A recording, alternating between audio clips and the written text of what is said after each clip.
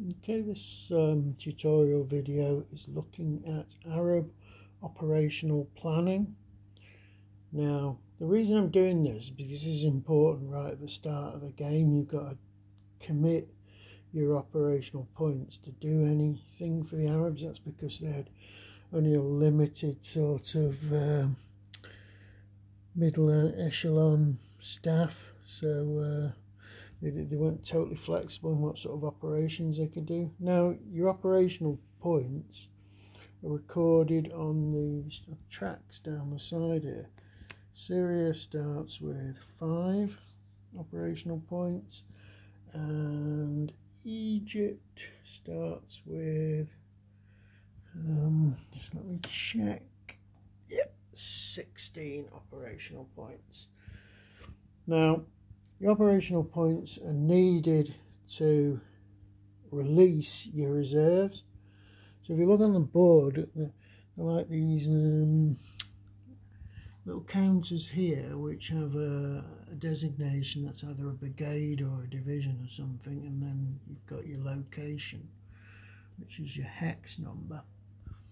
Now you can spend operational points but the Syrian and the Egyptian totals are totally separate, right? You can't you can't exchange them or anything like that. Um, you can expend them and you can accumulate more. If you look on the tracks, you'll see that for each day you can get more coming in. Now there is an option to make that variable because obviously the Israeli player can study these tracks and have a clue about what your capability is going to be from any turn to another. I, I am not sure about doing this variable thing, but I'm going to um, I'm going to bear it in mind. Now, when you come to expending your points, you need to spend. You can spend two uh, operational planning points to release an armoured division, which I'm going to do here for the Syrians, and then you're going to release, uh, you spend one to release your infantry divisions, these ones here, and then you can spend uh, one more or one to release two of your brigades. So I'm spending a total of five for the Syrians, two on the armoured division, uh, two more on the infantry divisions, and finally my fifth point I'm expending on the uh, brigades. Now, once you've decided what that you've released these, you turn your counters over, and then on the Golan Heights, you've got to place you place all your units for that um, released unit say all the units or all the uh, subordinate units to that released unit within four hexes of the released hex.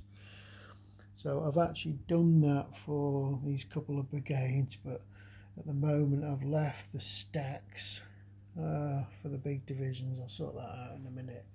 The difference is because there's a scale difference on the um, maps when you release from the Egyptians, which I haven't done any of at the moment, you, you have to place it within two hexes, all, all the units released within two hexes of the, the released portion. So I'm releasing this pink one here, so they'd all have to go in in the radius of two around there.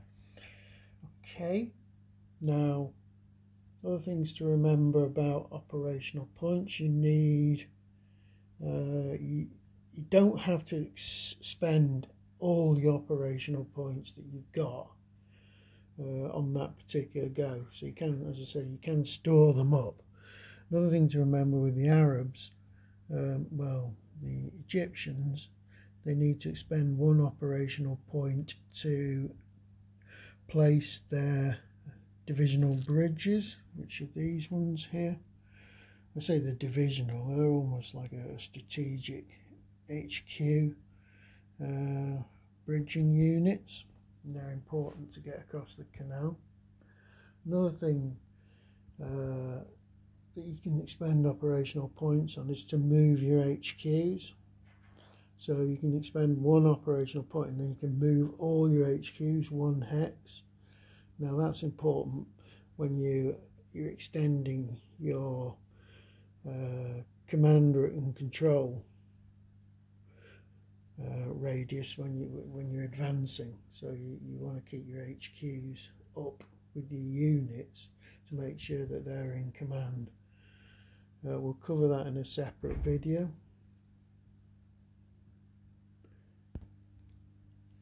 Um, slightly different but very related thing to note is that certain reserves are automatically released and that's if the uh, Israelis cross the canal into uh, Egyptian Africa or whether the Israelis cross the anti-tank ditch which is this thing here into Syrian territory that will release all your reserves. You can also pay operational uh, points to release units out of these reserve holding boxes. Um, I might need to check that. Okay, it's slightly different from what I thought. Any Egyptian unit in these reserve boxes can be automatically released the moment the Israelis cross the canal. But for the um, Syrians, it's slightly different. These reserves on the Syrian tracks are really Allied tracks, Allied uh, units.